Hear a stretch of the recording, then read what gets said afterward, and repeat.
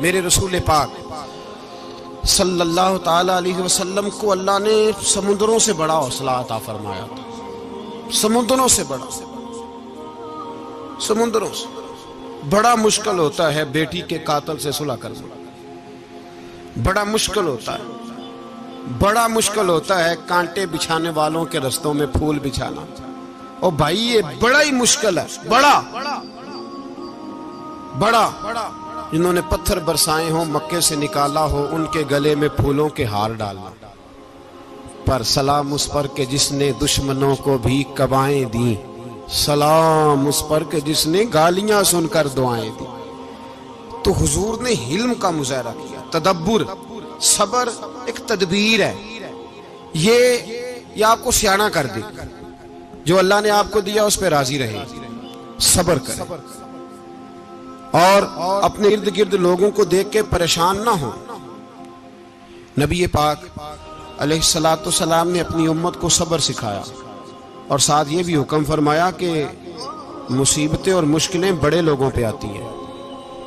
छोटों पे मुश्किलात, जो दिल के छोटे हों, जेन के छोटे हों, उन पर अल्लाह मुश्किल नहीं डालता।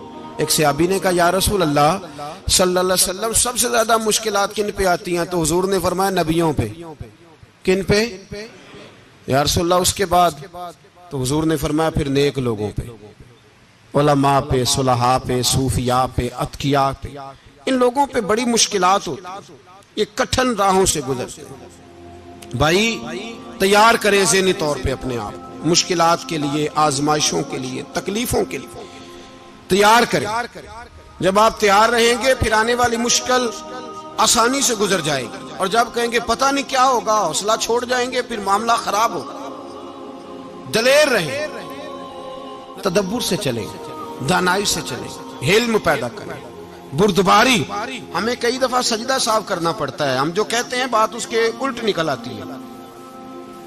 हम किसी शख्स के बारे में कुछ तबसरा कर बैठते हैं। कुछ अरसे के बाद हमें पता चलता है कि वो तो ऐसा था ही नहीं, हमने गलत बात कर हम बगैर तहकीक के, बगैर तफ्तीश के हौसला ना होने की वजह से, सबर ना होने की वजह से, हम बहुत सारे काम कर गुजरते हैं, फिर हमें नुकसान होता है।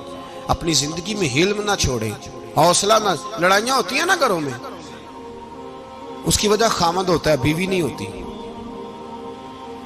ये बात घर जाके बताना कि आज उन्होंने कहा लड़ाई की वजह कौन होता है? ना बोलो, तुसी पर मैं तो आख ही छड़िया वो तो रिकॉर्ड हो गया लड़ाई की वजह कौन है? हाँ जेडे बातें लड़ते ने कूदे ही नहीं पे। वजह कौन बनता है जी? क्यों भला? इसलिए कि नबी पाक सल्लल्लाहु अलैहि वसल्लम ने फरमाया, औरत की अगल आदि है। तो तेरी तो पूरी है ना? जिसका मतलब है, लड़ाई अगर बच सकती थी तो मर्द की वजह से बच सकती थी। घर में अमन हो सकता था। कहते हैं जी बड़ी बेवकूफ़ है, मेरी सुनती नहीं। तो मैंने कहा, जो उससे बहस कर रहा है, वो सियाणा है। बोले। जो बहस कर रहा है वो अकलमंद है। बंदा तो चलो, था वो दानश्वर, शेक्सपियर। बातें बाजूकात उसकी कुछ ऐसी हैं। उसने, उससे किसी ने पूछा, था औरतों से कौन जीत सकता है बहस में? तो उसने कहा, था वो जो उनसे बहस ना करे। जो उनसे बहस है। तो भाई तू वजह इसलिए कि हौसला तो तू नहीं करना था। नबी पाक सलाम ने फरमाया, बीबी, टेढ़ी लकड़ी है, सीधी करने की कोशिश करोगे तो टूट जाएगी। सीधी? तो फिर कितना बेवकूफ़ है जो पत्थर से सर रगड़ रहा है। कितना नादान है। जो ये हरकत कर रहा है दरिया में छलांग लगा के कहता डूबूँगा नहीं। तो भाई, हौसला पैदा कर, हिल्म पैदा कर।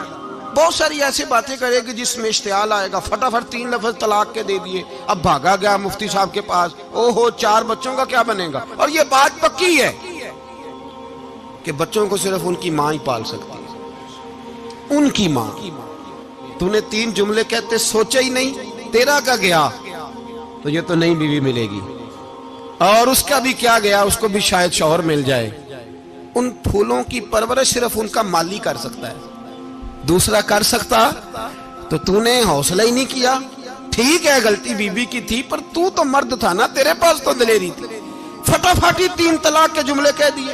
और मेरे रसूल पाक सलाम ने फरमाया, जायज़ काम बड़े हैं, पर तलाक जायज़ तो है। पर मेरे रब को पसंद नहीं। अल्लाह को पसंद। तूने माली भगा दिया जिसने तेरे घर का बाग सेंचना था। तो भाई, ये हौसला नहीं। दर्जनों तलाके, बीसियों केस। और अभी अभी वो शादी के पूरे कपड़े नहीं पहने तो तलाक पहले। उसकी वजह यह कि हौसला नहीं, सब्र नहीं, रजा नहीं। हम एहसास नहीं करते। अगर तू ये समझ जाए कि बस अल्लाह ने जो मेरे लिए बेहतर समझा, मुझे दे दिया। सही है, मेरी आजमाइश है, क्या है, कुछ है। जो उसने बेहतर समझा, मुझे उसने, फिर तू सुखी हो जाए। तेरे लिए जीना आसान हो जाए। फिर तू बहुत सारी परेशानियों से, आजमाइशों से दूर हो जाए, मेरे नबी पाक, अलैहिस्सलाम ने हमें हौसला करने का हुक्म दिया। दलेरी